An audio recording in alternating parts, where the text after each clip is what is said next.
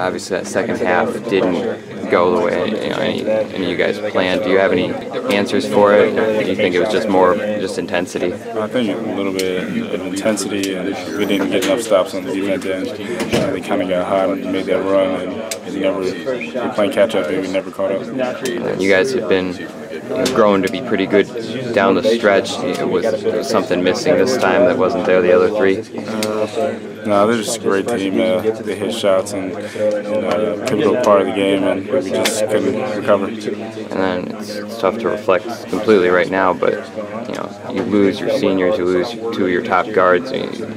Would you consider this season a successful one, getting 23 wins, getting into the tournament still? Yeah, uh, I think, and I'm proud of our guys and how we fought all year, battled adversity every single time it hit us, and I'm just proud of our guys. And having everybody back that played today next year, does that kind of amp up the intensity heading into the offseason, or at least the excitement level? Uh, yeah, uh, you never want to lose, especially in a lineup like this. But uh, you gotta look, gotta be uh, happy to look forward to what we have next year.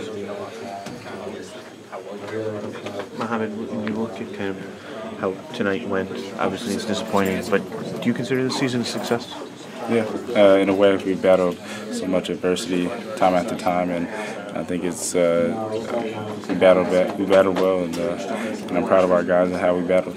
So you guys bring back, you know, Spike and Caris, so that you bring back essentially the same crew. Why will you guys be better next year? Uh, more experience. Uh, you, uh, just more experience uh, always helps you, and, and uh, I think that help that help us next year. How important were these two NCAA tournament games to you guys for springboard for the future? Uh, very important. Like I said, experience always helps you become a better player and uh, see what you have to work on in the offseason. What does this team need to work on? Uh, I'm not sure. Uh, that's not up for me, but uh, I think we we could just play a little bit harder. Are you going to stay for spring and summer? Is that your plan? Uh, I'm not sure yet. Okay.